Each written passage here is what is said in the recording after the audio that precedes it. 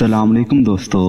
आप देख रहे हैं वेलकम टू इस्लाम कुरान पाक में हज़रत आदम इस्लाम के दो बेटों काबिल और हबील का ज़िक्र है।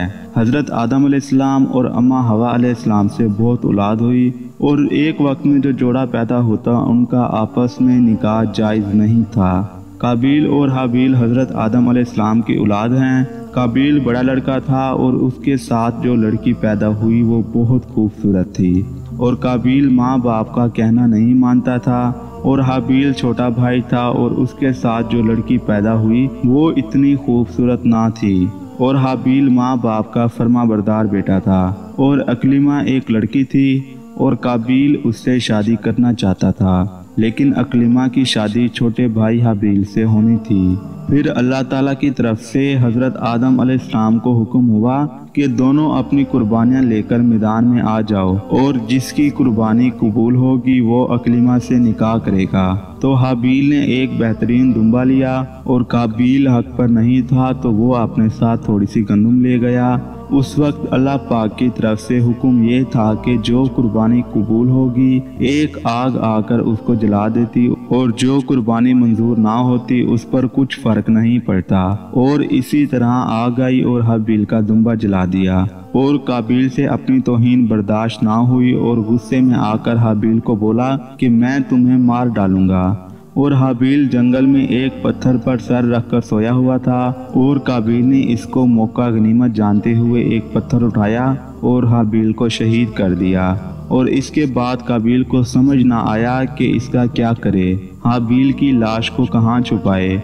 और इससे पहले हज़रत आदम अलैहिस्सलाम की औलाद से कोई भी फोत ना हुआ था। फिर इसी वक्त अल्लाह ताला ने कौवे को भेजा और एक कौवे ने दूसरे कौवे को मार दिया और फिर ज़मीन में एक गड़ा खोदा, फिर मुर्दे कौवे को उसमें रखा और उस मुर्दा कौवे पर मट्टी डालकर छुपा दिया। फिर काबिल ने भी इसी तरीके को इस्तेमाल करते हुए हाबिल की लाश को छुपा दिया। हज़रत अब्दुल्ला बिन मसूद रज़ी अल्लाह से रिवायत है कि हज़रत मोहम्मद सल्लल्लाहु अलैहि वसल्लम ने फरमाया कि दुनिया में जब भी कोई जुल्म से कत्ल होता है तो उसका एक गुनाह हज़रत आदम इस्लाम के बेटे काबिल की गर्दन में ज़रूर होता है। इसीलिए ये वो शख्स है जिसने जालिमाना कत्ल की इब्तदा की। हज़रत इबन अब्बास रजीला आना ने फरमाया कि हज़रत आदम इस्लाम के 40 जुड़वा बच्चे थे, जिनमें हाबील, काबिल, साले अब्दुलरहमान और हज़रत शैस अलैहिस्सलाम हैं। और हज़रत आदम इस्लाम ने अपनी ज़िंदगी में हज़रत शैस को खलीफा बनाया था। हज़रत मोहम्मद सल्लल्लाहु वसल्लम ने इरशाद फरमाया कि हज़रत मूसा इस्लाम ने हज़रत आदम से कहा कि आप वही आदम हैं जिनको अल्लाह ताला ने अपनी तरफ़ से ख़ास रूह आपके अंदर डाली और हर चीज़ के नाम आपको सिखाए।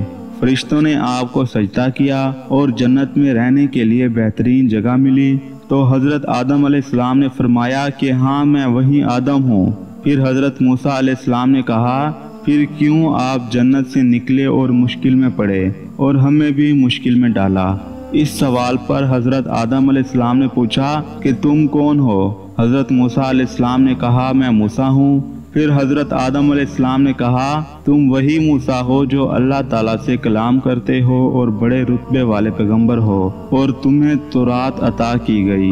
हज़रत मूसा ने जवाब दिया हाँ मैं वही मूसा हूँ। फिर हज़रत आदम ने कहा कि, सच कहो कि तुरात मेरी पैदाइश से कितना अरसा पहले लिखी गई है। हज़रत मूसा ने जवाब दिया कि 2000 साल पहले लिखी गई फिर हज़रत आदम इस्लाम ने फरमाया कि तौरात में ये बात लिखी है कि आदम ने अपने रब की नाफरमानी की।